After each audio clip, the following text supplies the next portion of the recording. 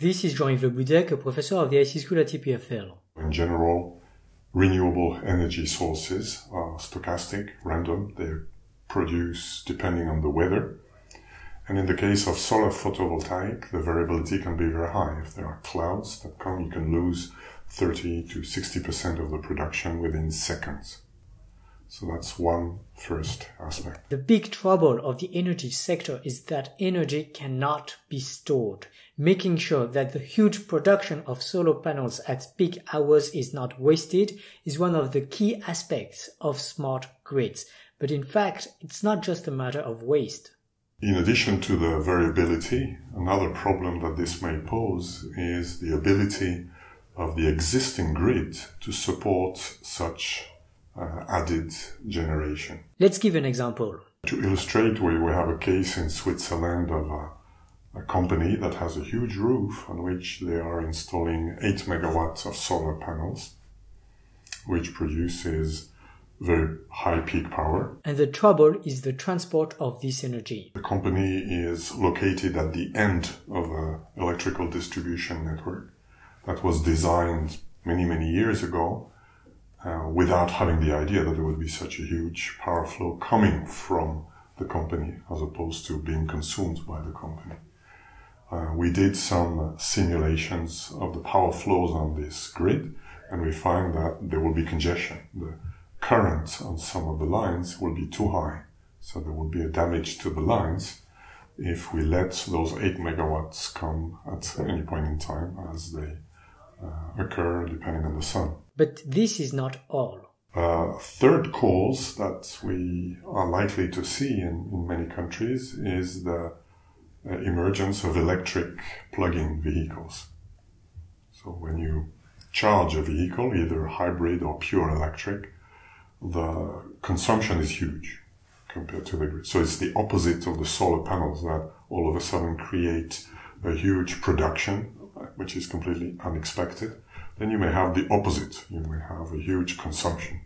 More generally, electrical grids are a network that allow to transport produced energy to consumption nodes. And changes in the energy sector imply changes in energy production, in energy consumption, and as well in stresses on electrical lines. So the classic solution to that problem would be to uh, improve the grid. So do more constructions, add, uh, put new transformers or upgrade some of the lines. But this has very, very large costs for things that are fluctuating and not present always. So upgrading the electrical grid is not always an option. So what can be done? So there are alternatives that are to compensate uh, the, those flows, maybe to use uh, what is called demand response. Wait, what's a demand response? Demand response means that we could perhaps move the point in time where some consumptions are happening. Let's give an example. For example, if the peak load is uh, around noon time, there are perhaps two, three hours of the day where there is too much power being generated by the solar panels. Perhaps it is possible to increase the consumption of things that would naturally consume energy and make sure it happens just at this time.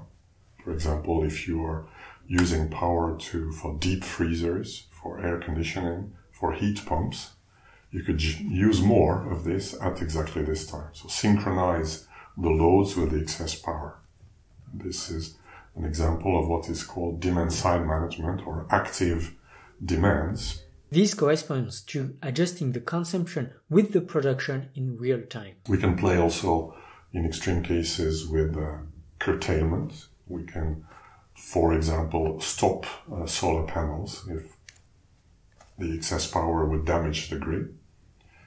This may seem counterproductive, but this is, in some cases, it's economical to install uh, for a peak production that during the peak of the summer would be in excess, so has a risk of being curtailed, but in average during the year would uh, would not be in excess. So that's also a possibility. Again, you don't want to damage the grid. And last, we can also use uh, storage systems that are typically today batteries, specially developed for grid applications that are able to both consume and produce depending on what we instruct them to do. So batteries are able to, with today's technology, to store energy at the time scale of a day or, or several days. As you can guess, battery storage is a crucial component of smart grids, which can hugely improve our way to manage energy. The battery is a sector where we see also rapid changes.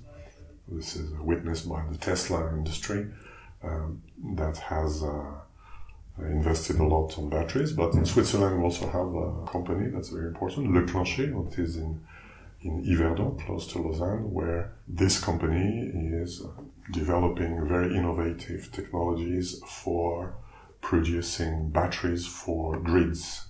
And this, we have one on the campus. We have a container uh, close to here where we are uh, making experiments with this battery to do things like run a part of the campus uh, autonomously by compensated on the uncertainties with this battery. So batteries like this one are going to be deployed in many, many places in the world. I mentioned the cases where we have a grid that is too weak to be able to absorb very high peak solar power. That's a case where similar batteries will be deployed. Other cases in other transmission grids is, for example, avoiding making a new high voltage line between north of Europe and south of Europe to transfer the excess wind energy, for example. You store it when the, when the peak production occurs and the demand is not very high, and you store it uh, in, in, batteries, and then you drain those batteries at uh, off-peak hour to, to move them to other batteries or other places uh, in Europe where they will be used. This smart grid enables newer technologies to be integrated, such as wind and solar energy production and plug-in electric vehicle charging. It is an optimization problem, uh, which is nasty in some sense.